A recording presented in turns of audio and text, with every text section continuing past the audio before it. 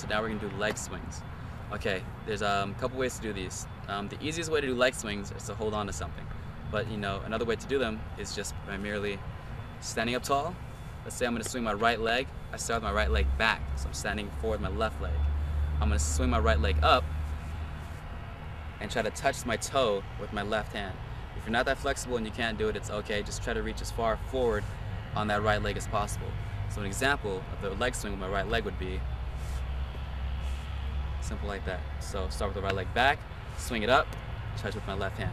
Now if I was holding onto an object like a pole, what I want to do is using that stability, raise um, my left leg, actually I use my right hand, raise my left leg as high as I could forward, and using that the pole, I can really crank my leg backwards. So it'd be back as far as I could, forward, touch the toe, back, forward, touch the toe. And those are leg swings in that direction. Now, leg swings in another direction, side to side. Okay, so once again, if I had something to hold on to, I could bring my leg up as high as I could on the side and swing it down past my body, past the center line, which we spoke about earlier, past the center line in the opposite direction.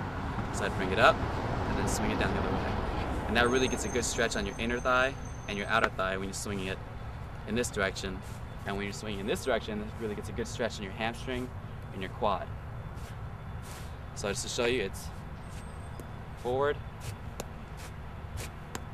from the side. And those are leg swings.